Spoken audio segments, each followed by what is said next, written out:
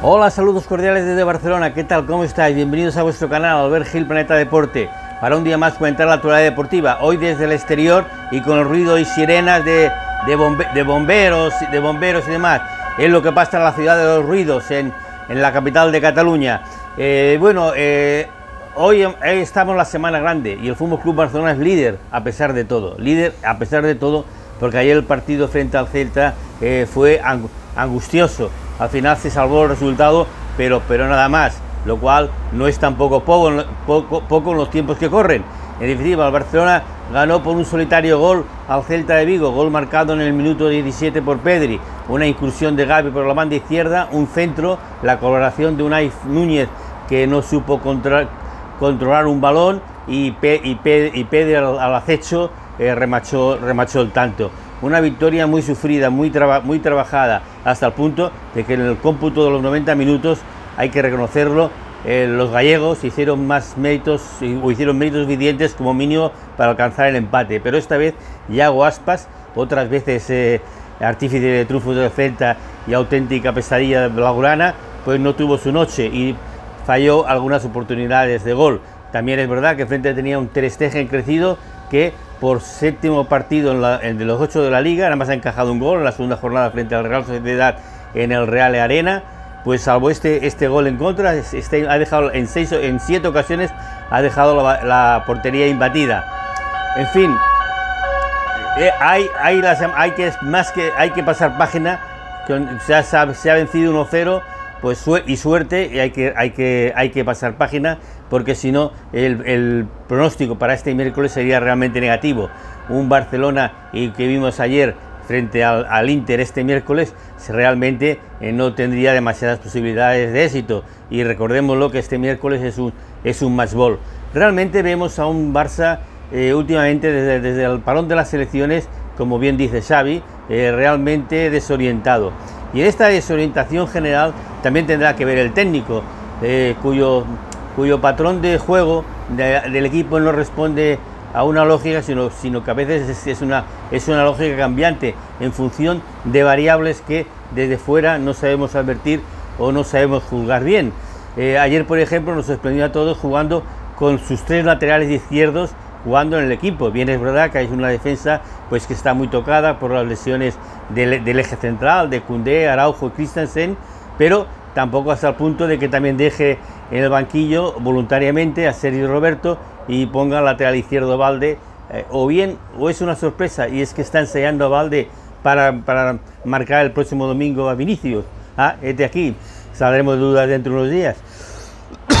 en cualquier caso, se, se veía un equipo eh, poco, o sea, o excesivamente trabajado, tan trabajado que a lo mejor es, produce alguna, empanada mental. Esa empanada mental que nos produce algunos analistas aficionados como nosotros cuando oímos hablar de, generar espacios, de, cuadrantes, cuadrados, triángulos y tanta, esta geometría tan, variable que se hace difícil de identificar, al menos para para los no profesionales. Bueno, pues esto, el Barcelona, el Barcelona está eh, comandando la tabla clasificatoria, es verdad, igual de puntos que el Real Madrid, pero con un gol a verás, con una, diferencia de goles a favor y en contra sustancialmente eh, importante.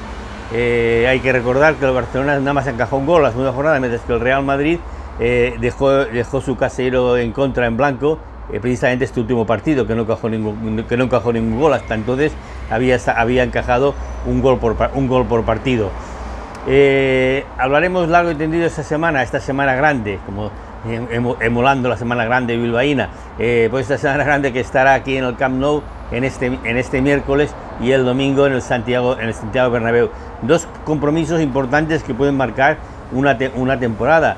El objetivo donde el Barcelona tiene más posibilidades es en la Liga en la liga, si se hacen las cosas bien, el equipo está muy compensado, está muy equilibrado y puede luchar o mantener este primer puesto que tiene hasta ahora.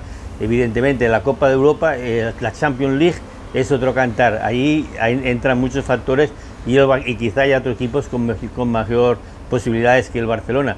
Por eso también sorprende que ayer en un partido crucial, cuando los tres puntos eran tremendamente importantes tenerlos, eh, en pleno dominio Celta, eh, Xavi haga, cumplir el guion tal como lo tenía preconcebido y en el minuto 60 a la hora de juego eh, haga el cambio y se marcha y se marche el jugador más talentoso de la plantilla, que todos convenimos que el jugador de más talento en la plantilla del Barça tiene el nombre de Pedri y responde al, apellido de González.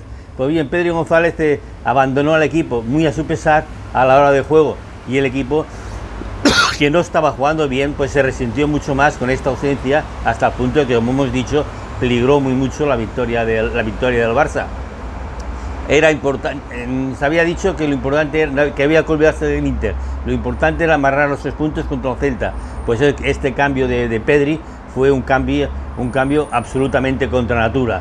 Menos mal que se mantuvo en el campo y no lo cambiaron los 90 minutos eh, Gaby, este, este, jugador, este jugador espléndido que lo da todo, que siempre ponderamos su, su, su su gran capacidad física, su, despliegue, su generosidad, pero que a veces nos olvidamos también de alabar sus condiciones técnicas. Evidentemente Gaby no, no es tan virtuoso con el balón como pueda serlo Pedri, que es todo un talento puro, pero tiene unas cualidades, una técnica individual suficientemente, elevada al hablar de Gaby, con 18 años recién cumplidos el mes de agosto, estamos hablando de un jugador grande. Menos mal que ayer Gaby estuvo todo el partido, todo el partido y sin duda fue el mejor jugador del Barça. Amigos, mañana un poquito más. Adiós.